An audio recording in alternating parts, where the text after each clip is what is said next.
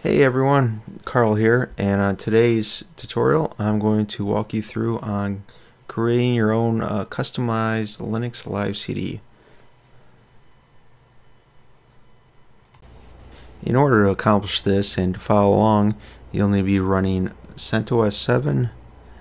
You'll need to download a copy of the Live CD, uh, pre preferably the CentOS Live CD. That'll be that's what I'll be using today and also you'll need to install the Squash FS tools.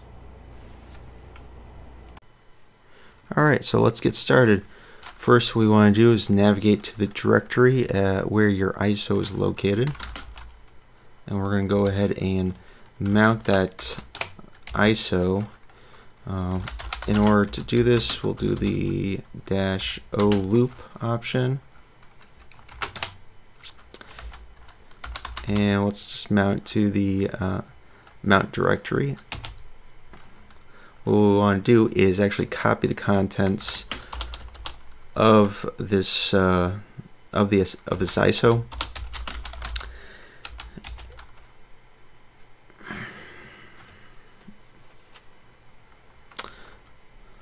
Actually, let's go ahead and cd to temp, and we'll we'll copy the contents under the temp directory uh, go ahead and create a new directory just to keep it clean and then go ahead and type in your CP and we'll do the uh, dash RF and P option just to preserve the, the ownership of the files in the ISO. Not sure if it's actually needed, but just be on the safe side. Alright, and it should take a minute or so. Okay, once the ISO files are copied over, go ahead and navigate to that directory. And we'll want to navigate to the live OS directory. And what we'll want to do is we're going to actually expand out that squash fs image. So in order to do so, what we'll need to do is run the unsquash fs that's included in the Squash FS tools and then point it to the uh, uh, the image file of the Squash FS.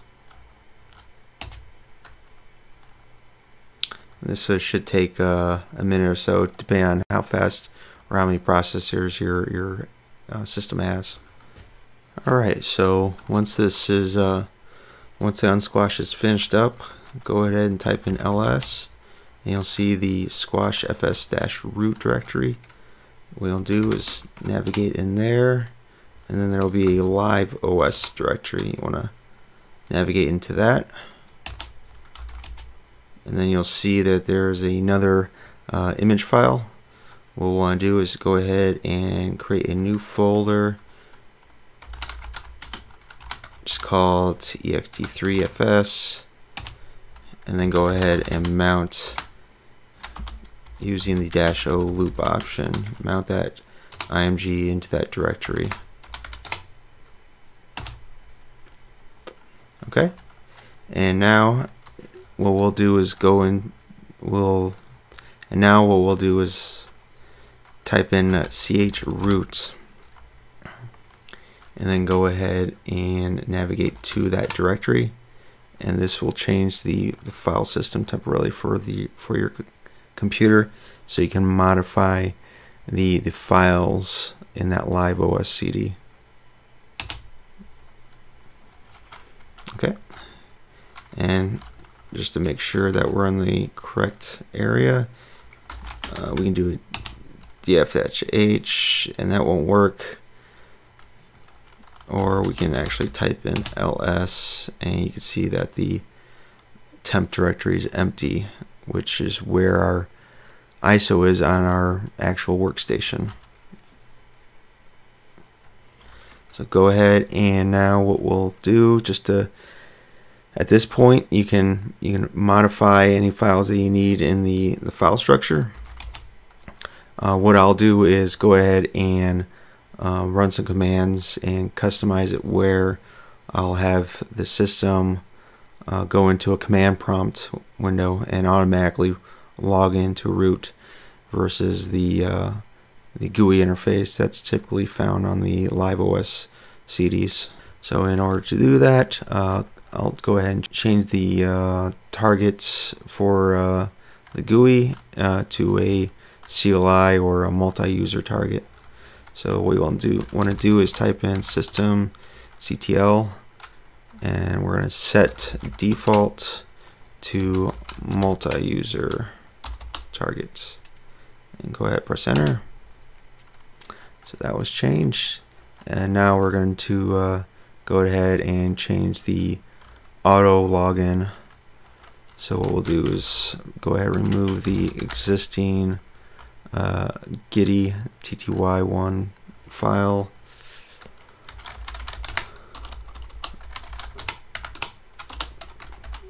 That's on our system D system. Gitty target once and there's the service file. So remove that and then copy over a new template.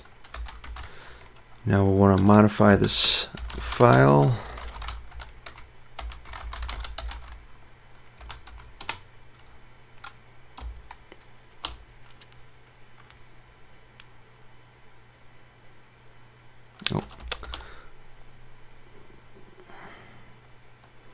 Actually copied it to the wrong, wrong directory. Let me fix that real quick.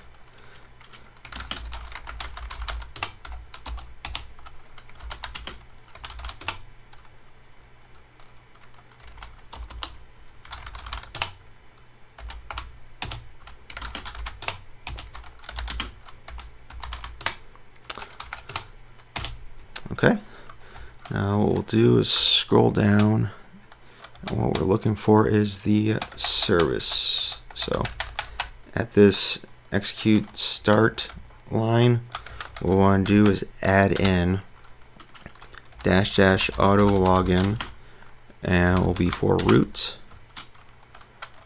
And then under the install section at the bottom, we'll add in a, a uh, semicolon alias and then the file name. Go ahead and do a colon R RQ to save it. And then we'll type in a symbolic link to that new file. Okay, and once we're done here, we can go ahead and exit out of chroot. And we'll want to unmount the uh, ext3 folder and remove that. And just make sure that img is still there. Alright and then we'll back out of there. Back out of squash fs root. And what we'll want to do at this point is remove the previous squash fs image. And then we'll go ahead and create the new squash fs image based on that squash fs root directory. So you want to type in mk squash fs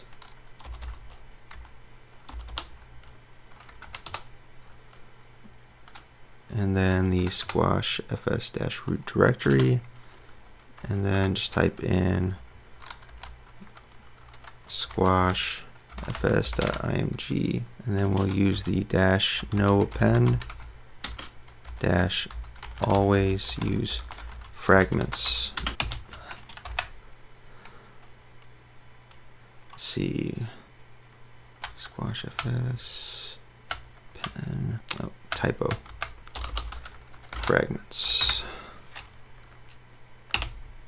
Okay so this should take a few minutes to, to actually create that uh, new IMG directory, or excuse me, IM, IMG uh, file.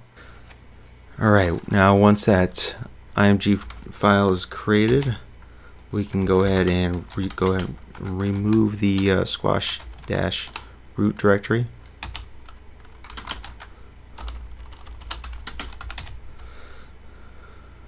Okay, And now we'll need to go ahead and recreate the, the ISO. So within that main directory uh, where we copy the files, the ISO directory, that's where we want to be when we uh, go ahead and create the the uh, ISO.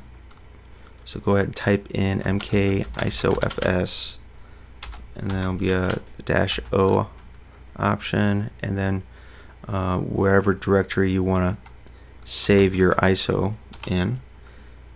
So I'll save it to the fs share and then type in the file name that you want. So I'll use custom ISO dot .iso and then we'll need to use the dash B then we'll point it to the ISO Linux ISO Linux bin file and then dash C. And now we'll go to the ISO Linux boot.cat and type in dash dash no emul dash boot. And then dash dash boot load size to 4 and then dash dash boot info dash table and then type in dash r dash j dash v lowercase dash t and dash v uppercase. And then type in cent os dash 7 dash live cd dash x86 underscore 64 and then space and dot it's it's important to have that CentOS dash 7 dash live cd name uh, otherwise the chances are it, it won't boot I've have experiences in the past where uh, I wanted to customize that name and um, I actually needed to, to edit additional files. I believe it was under the, the ISO Linux directory uh, in order to accomplish this. Uh, so yeah, just keep the, the name just like that and go ahead and press enter. And that should kick off the uh, creation for that ISO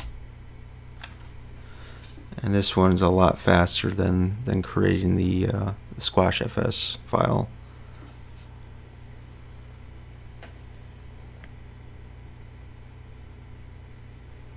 Alright once that's created uh, now you can go ahead and test out your your uh, new image. So just kind of demonstrate I do have a, the original image loaded already.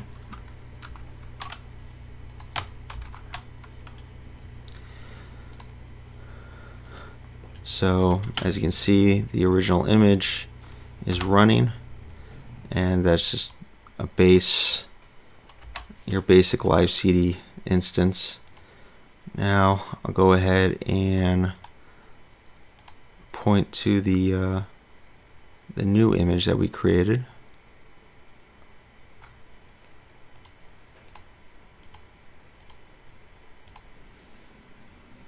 And it'll be this one. Click OK and we'll power that on and check it out.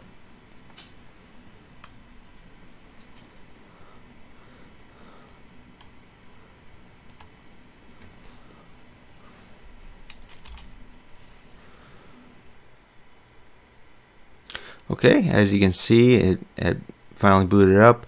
Uh, it might take a little bit longer than uh, you expect since it's a kind of a, a completely black screen. It doesn't have any kind of uh, uh, information, uh, you know, scrolling by saying indicating it's booting up. But uh, it took a uh, about a minute to to boot up. So as you can see, it dropped me down into root, and it also had uh, brought me into the command line versus the the GUI that's typically seen on your your default or your the original uh, live CD. If you like this video, give it a thumbs up. If you have any questions or comments, uh, leave them down below. And I would like to thank you for watching.